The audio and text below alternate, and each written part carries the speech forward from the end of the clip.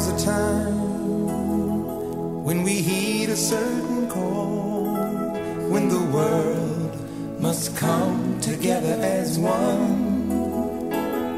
There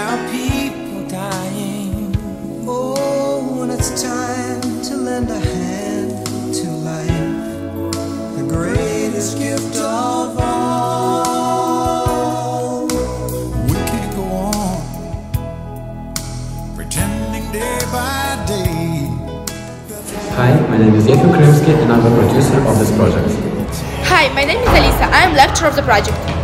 Hi, I'm a part of the High School Senate and the choreographer of the project. Hi, I'm a responsible manager for relationship with my partner's group. Hi, my name is Dasha. Hi, my name is Marta. Hi, my name is Alina. And we are designers of the project. Hi, my name is Tanya and I am the photographer of the project. Hello, I'm Alex. I am the editor of the project. Hi, my name is Dima and I am the filmmaker of the project. Hello everybody, my name is Ometka Mike and I am the president of the Environmental Protection Unit in the Republic of Moldova. My motto is preserve the ecology on Earth for the future generation.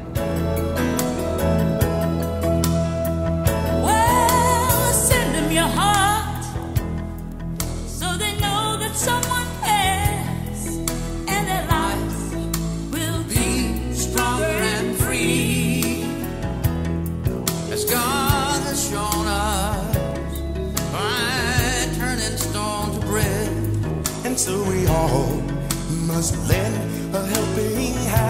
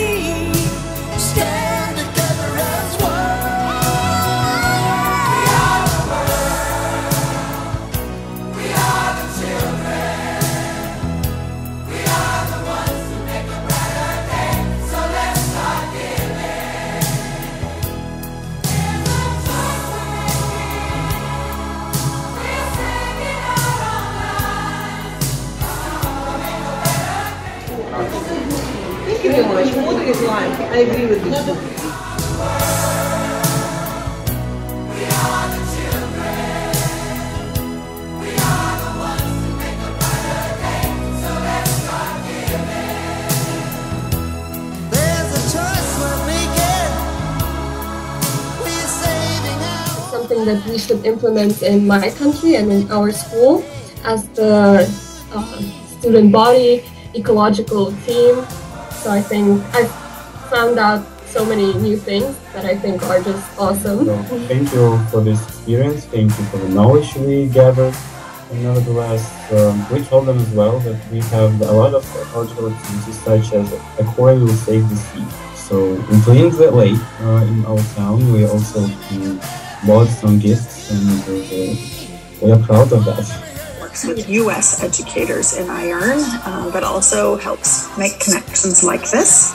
And so we're really excited today to have with us um, a classroom that has been working a lot on um, environmental work